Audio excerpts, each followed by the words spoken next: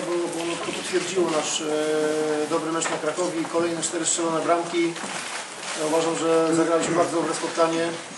Dominowaliśmy praktycznie przez cały mecz. Oczywiście był moment zawahania po, po bramce Broszka, ale, ale jak to się ładnie mówi, zespół zareagował bardzo pozytywnie i, i, no i mamy wreszcie upragnione trzy punkty odniesione po, po dobrej grze, po skutecznej grze, także myślę, że to jest wszystko to, co sobie mógłby trener w takim meczu o takiej stawce wymarzyć. Dziękuję.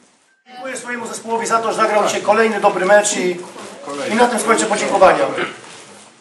Panie trenerze, trener Maskan przed chwilą powiedział, że mm, on traktował to spotkanie jako y, ostatnią szansę, znaczy zdawał sobie sprawę z tego, że to dla Lecha będzie ostatnia szansa, żeby jeszcze wrócić do walki o mistrza. Czy Pan też uważa, że, że no, ten dorobek w dalszym ciągu jest niski, ale uważa Pan, że ten impuls w postaci takiego zwycięstwa może jeszcze poskutkować tym, że Lech szansę zachowa?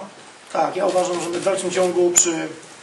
Oczywiście, no, warunków musi być spełnionych parę, ale przy podstawowym warunku, że będziemy wygrywać teraz mecz za meczem, w dalszym ciągu będziemy się liczyć. W to głęboko wierzymy. To mówiłem już przed meczem z Wisłą i w dalszym ciągu to wierzę. Ale tak, ja z tym zespołem cały czas jestem blisko. Yy, tu nie ma żadnych problemów, wbrew temu, co się yy, różne rzeczy pisało. Oczywiście w każdym zespole zdarzają się niesnaski, jakieś tam konflikty, no ale to jest normalne, to jest grupa 20 paru ludzi, nie każdy się musi kochać, jak to zwykle bywa. Natomiast uważam, że, że jest to w dalszym ciągu zespół, któremu ja wierzę, w który wierzę i, i wierzę głęboko w to, że ten zespół będzie jeszcze grał o najwyższe cele, o tak powiem.